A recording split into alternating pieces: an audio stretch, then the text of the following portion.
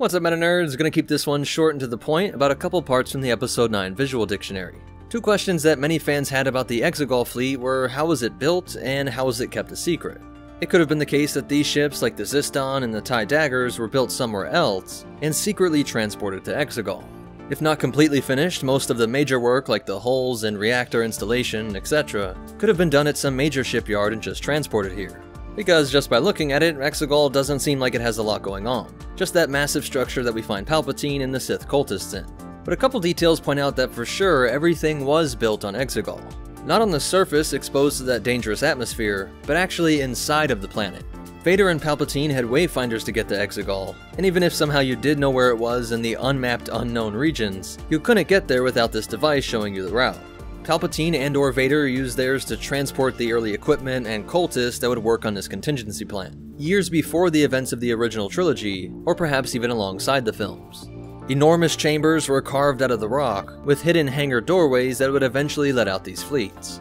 This serves as just another layer of avoiding detection, in that even if somehow a probe just happened upon Exegol by sheer chance, the atmosphere would quickly destroy it. And any data or images that may have been sent back wouldn't show a massive shipyard in full production.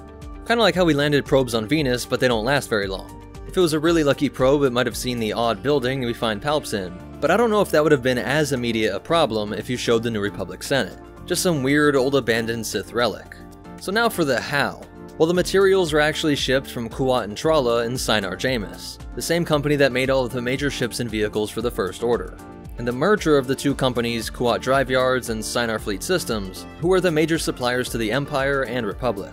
Sith loyalists within those companies made it so that certain raw materials disappeared, fell off the transport as it were, and presumably with Vader's Wayfinder, maybe Snoke or some other agents would escort the goods to Exegol.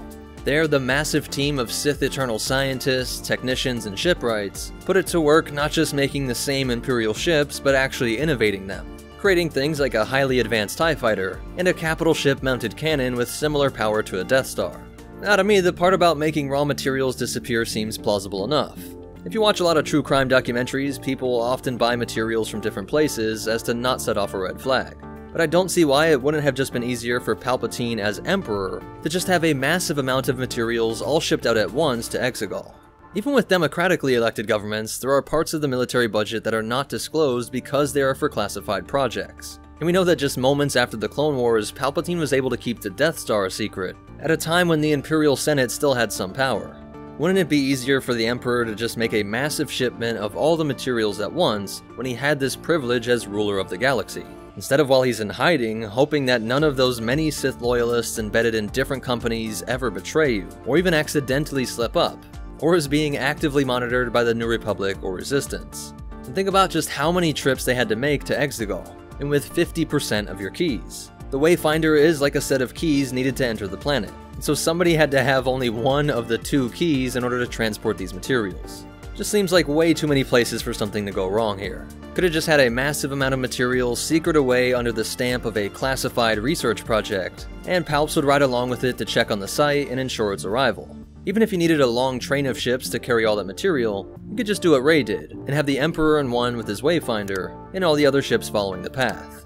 The rest of the plan is the same, you just leave everybody in that underground base in Exegol, and Palps leaves and goes back to ruling the Empire knowing that he has his set it and forget it Sith fleet crockpot going just in case Sith hits the fan. But what do you think all this? Do you like the explanation from the visual dictionary, my modified way to carry out this plan, or were you thinking something totally different? Kinda like I said with the Sitharian rule of two applying to Kylo and Rey, I actually think this whole secret stored up fleet is a cool idea, even if it could have been portrayed better across the trilogy.